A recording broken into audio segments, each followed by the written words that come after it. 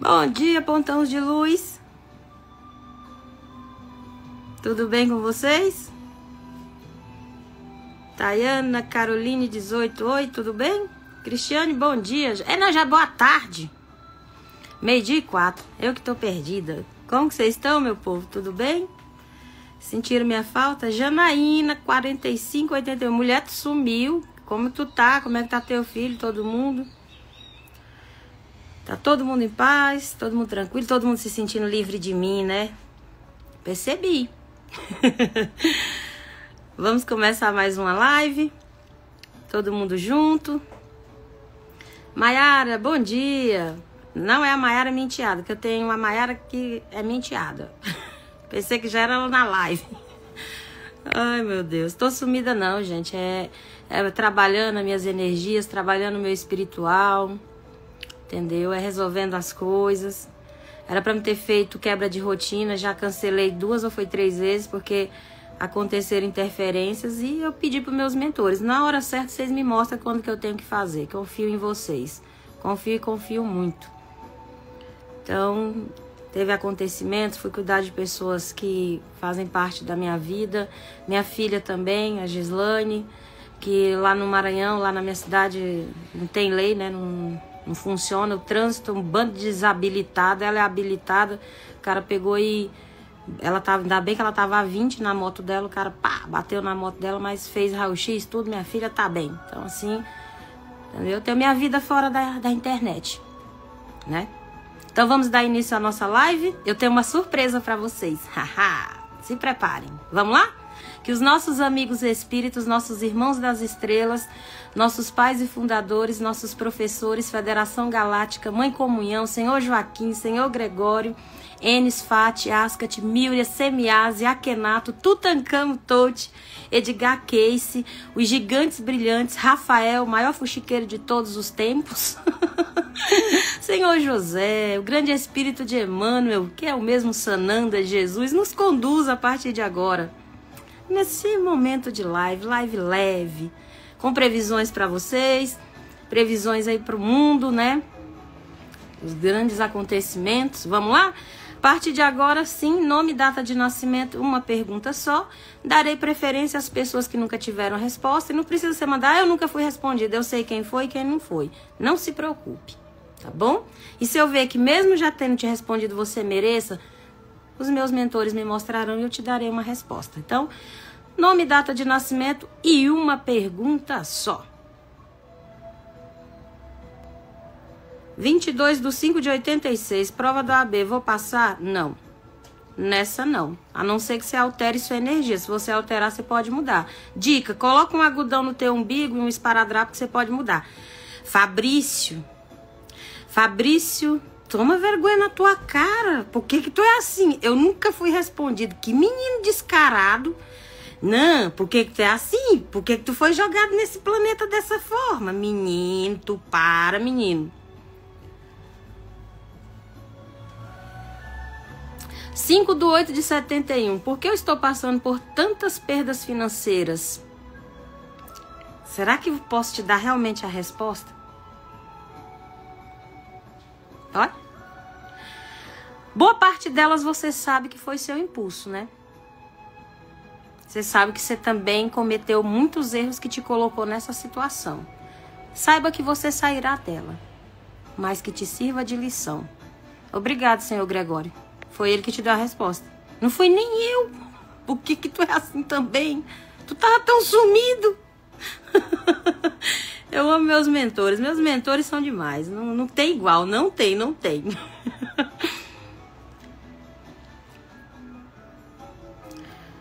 Treze do 3 de 2011. Meu filho, Kaique, é isso? Vai ficar bem? Ele tentou suicídio. Meu Deus, 2011, uma criança já tentando suicídio. Que mundo, hein? Escola, pressão familiar, cobrança. É complicado. Deixa uma foto do seu filho, Suelen Feitosa 1111, lá no, no direct pra mim, tá bom? Eu vou pegar seu filho, você, eu sei na mão de quem que eu vou entregar ele, você vai ver um salto que vai dar na vida do seu filho. Entrego ele na mão do Rafael, que ele sabe o que fazer. 14 de 5 de 2005, toda perdida na vida financeira. Ano de 2025 é a oportunidade da senhorita transformar o seu lado financeiro. Ninguém sabe quem é esse mentor.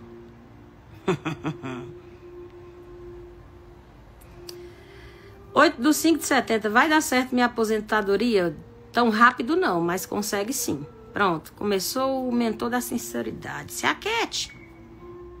24 do 11 de 68. Mulher, mulher, mulher. Lena, Lena, tua saúde vai ficar tudo bem. Senhor Joaquim disse que tu vai ficar bem, que tu tem muita gente ainda para tentar nesse mundo. Ai, vamos lá, nome, data de nascimento, uma pergunta só.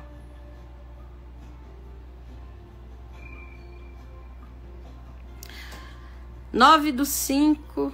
Não, 9 do 10 de 86. Perdi o emprego do nada, estou para baixo. Vou dar a volta por cima. Tu não perdeu emprego do nada, não. Tu fez foi se livrar. Pena que você só olha como olhar de perda. E tá perdendo a oportunidade do que realmente vem.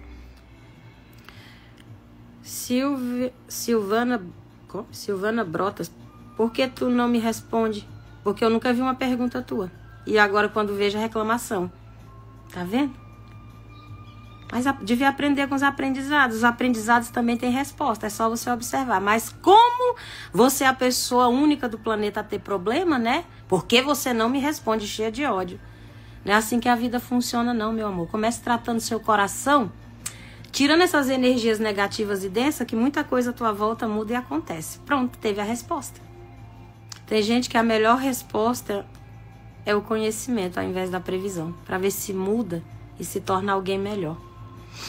30 do 11 de 83, eu ia dizer 33. Minha filha, guarda esse número 33 bem, que foi a semiase que te deu ele. O resto tu monta por conta própria.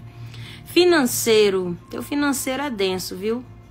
Pode ser a mudança no número 33. Aplica ele na tua vida. Por que, tu tá me falando isso, minha querida? E pra mim tu não aplica nada. É assim?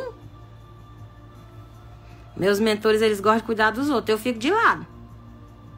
Vou ganhar na Mega Sena da virada? ou de hoje? Se eu ganhar na Mega Sena, se eu ganhar, na, eu vou ganhar na Mega Sena.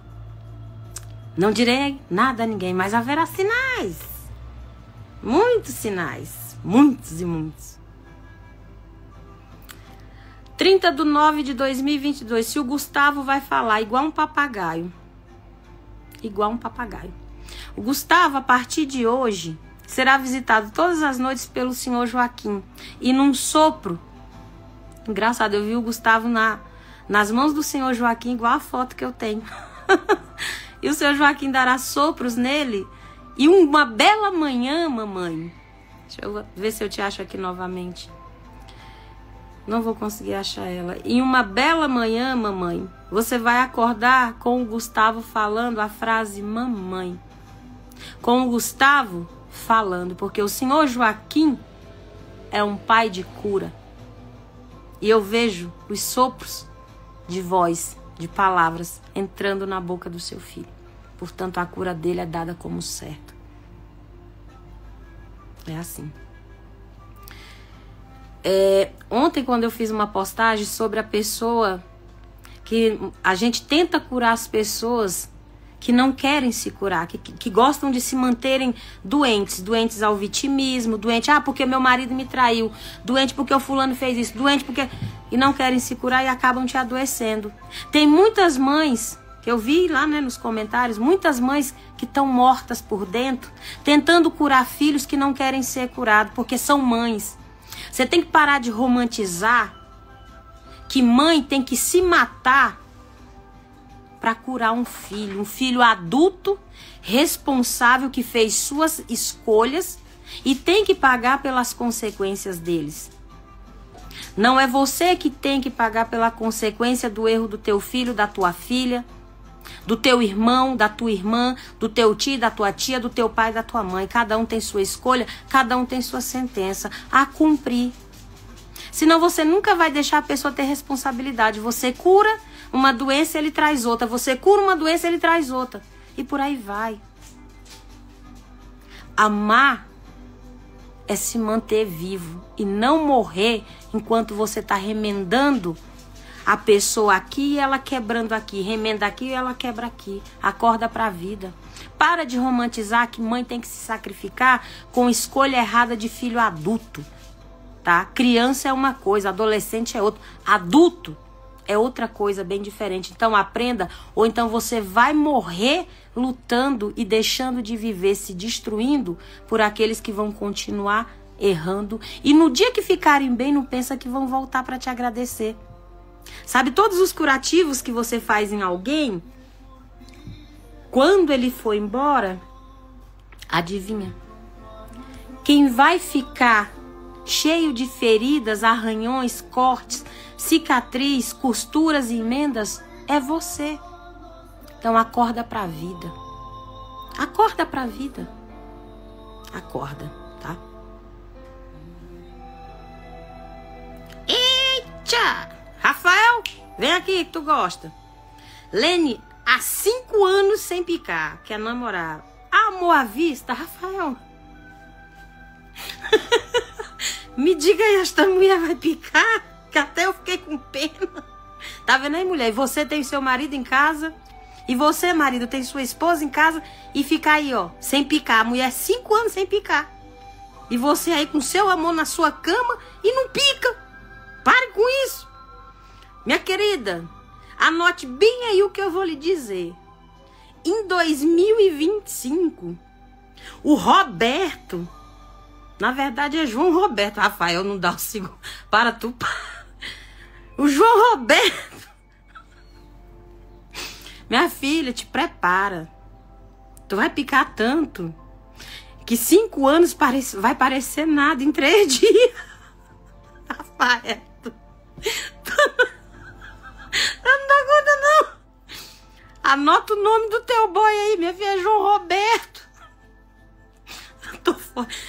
Nunca vou fazer uma live com o Rafael porque não dá certo. Tô chorando.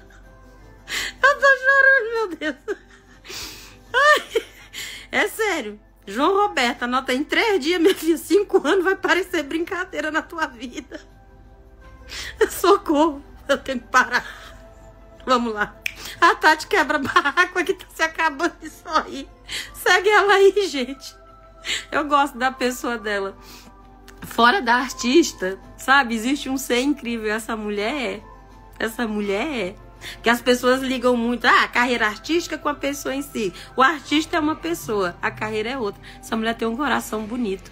Sofreu tanto, tanto. Quantas e quantas coisas você passou. O Rafael me mostra algo denso que aconteceu com você, um trauma. Que a, acho que a maioria de nós passamos quando eram jovens e crianças. E me mostra isso com você. Mas você é tão forte que você guardou aqui, ó aquela criança e botou ela para frente. Não se, não se prendeu ao vitimismo, por mais que tenha sido tão dolorido. Isso é muito forte. 2025, Tati, teu ano de ascensão. Te prepara.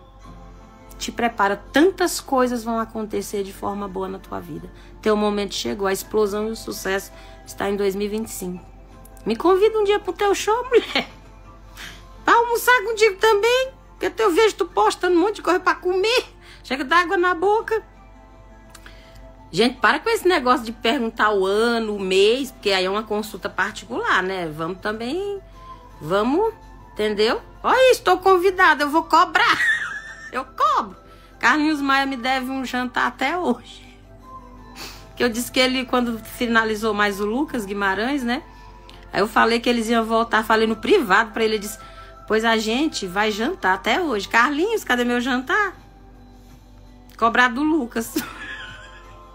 brincadeira, brincadeira. Dani, você viu sobre a questão do presidente que tentaram matar? Eu vi, eu vi. Ah, mas isso aí todo mundo já sabe. Todo mundo sabe. Se o presidente, o atual presidente do Brasil, lembrando que eu não sou esquerda, não sou direita, não sou A nem B, tá? Porque eu não tenho político de estimação, eu não brigo por político. Queria brigar por um mundo melhor, por um Brasil melhor. Mas por político, eu perder meu tempo? Não. Enquanto eles tomam champanhe, eu não tô tomando não, tá? Isso aí já é um fato. Ou, ou se protege o presidente Lula, ou ele, por dois motivos, ele pode não finalizar, né? O mandato dele. Ou por doença ou por assassinato. Infelizmente a mente humana é bem, bem perturbada, bem perturbada. Tem pessoas que tomam um fanatismo que nunca vi igual. Eu só espero que tudo isso se acalme, porque isso pode gerar um conflito muito grande. Agora imagina quem é doido para tomar conta do, do, do, do, Brasil, da Amazônia, que pertence a nós. Acho que a maioria dos países, né? Principalmente os Estados Unidos. Será que brasileiro é bem tratado nos Estados Unidos? Hum? Imagine, os Estados Unidos gostam de invadir os países, né?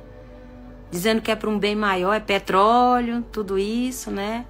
E aqui é a Amazônia. Eu espero que nunca, nunca esse Donald Trump ou qualquer um que governar os Estados Unidos tenha a força de tomar o Brasil, tomar a Amazônia. Porque se tomar, aí brasileiro vai dizer que saudade, que saudade que eu tinha dos tempos que eu dizia ser tempos horríveis.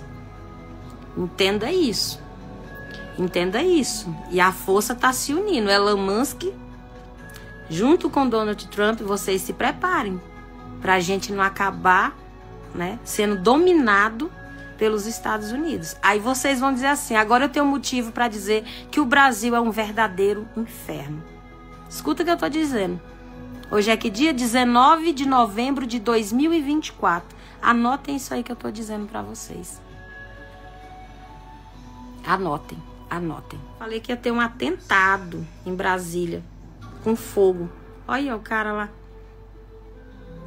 E é bom a segurança, né, do Palácio do Planalto, porque se jogar um avião ali, vou dizer uma coisa, não morre só presidente não, viu? É quem tiver lá. Porque as pessoas acham que se jogar algo ali vai ferir só um. Porque o ódio tá só, né, no é em dois, é o, o Lula e o Alexandre de Moraes. Que esse daí, se ele não se cuidar, ele vai para outro mundo. E o Lula também, né? Isso não é novidade, porque a gente tá vendo a loucura do povo. Mas é bom a segurança do Palácio do Planalto abrir os olhos para que não venham jogar um avião naquela, parece as torres gêmeas, né? Aquela lá assim, para não jogar um avião ali e um avião na casa do Lula, explodindo tudo. É. Eu, hein? Que eu não seja jamais uma pessoa que danifica a vida dos outros. Eu, hein? Beijos. Beijos. Beijos. Beijos. Beijos. Beijos. Beijos. Beijos. Beijos. Beijos. Beijos. Beijos. Beijos.